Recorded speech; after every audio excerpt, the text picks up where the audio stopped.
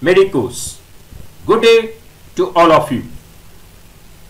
Today I am going to discuss about two topics in this session that is the azygos system of veins in the first half and then I will be talking about the some of the features or the main aspects of the autonomic nervous system of the thoracic region. Okay, so this will be our concluding class of the thorax and after that we will be actually passing on to a new region. Okay, so coming to the azygos system of veins.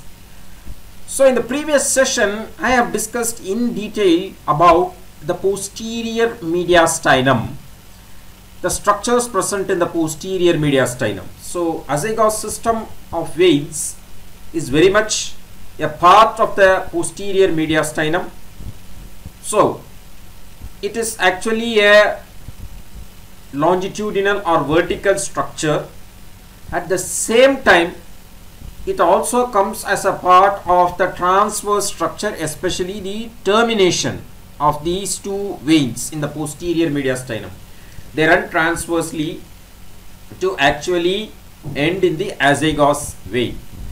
Now azygos system of veins comprises of mainly the three veins the azygos vein, the hemiazygos vein and the accessory hemiazygos vein. So this is the main azygos vein.